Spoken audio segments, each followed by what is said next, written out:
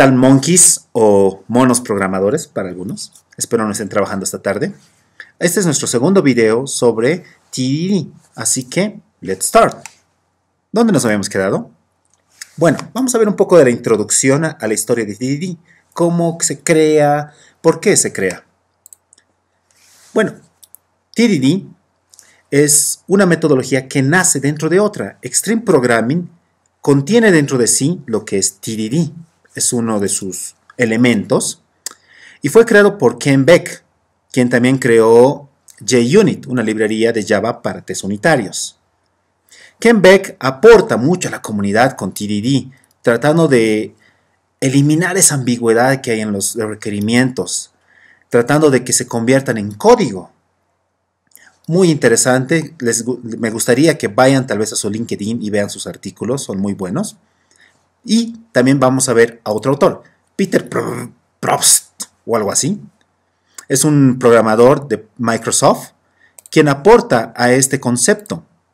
Y, quisiera adquirir ese concepto que él aporta, porque él no les dice tests, no denomina test a lo que vamos a programar en TDD, sino les dice ejemplos. Es un desarrollo guiado por ejemplos para él. Y me encanta ese tipo de definición, porque son ejemplos de cómo es la lógica del negocio, chicos. Así que vamos a usar ese elemento. Desde, desde este momento se van a llamar ejemplos y no test en el, en el continuo de los videos que hagamos. ¿Está bien? Así que continuemos. Punto 2. Los pilares de TDD.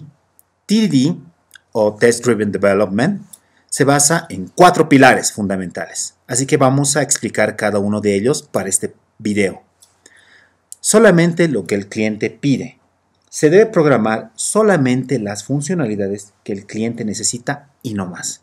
Sé que es difícil, sé que es complicado para nosotros porque tendemos a sobrepensar las cosas, la verdad.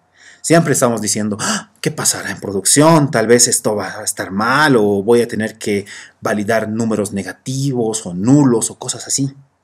Pero en TDD el pilar fundamental, uno de los pilares fundamentales es que siempre pensemos en lo mínimo. Solo lo que el cliente nos ha pedido, ni más ni menos. Segundo pilar, minimizar los bugs en producción.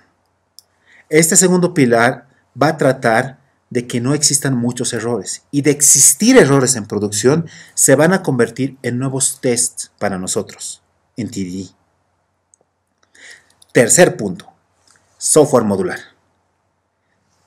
Los softwares, bueno, el software que vamos a desarrollar tiene que ser altamente reutilizable y preparado para el cambio.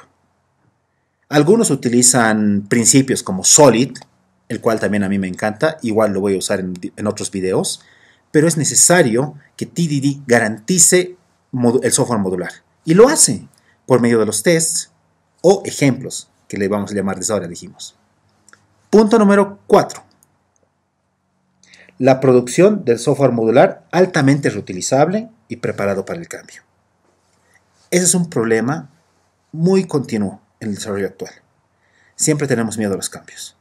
Nos enojamos cuando el cliente dice hay que cambiar cosas pero no debe ser así, porque el cliente es la persona que nos da de comer. Es nuestro principal objetivo dar todo lo que el cliente necesita para que el software sea lo que él quería. Así que chicos, recuerden estos pilares y este es nuestro segundo video. Para el siguiente video vamos a ver más cosas sobre TDD. Muchas gracias y hasta luego.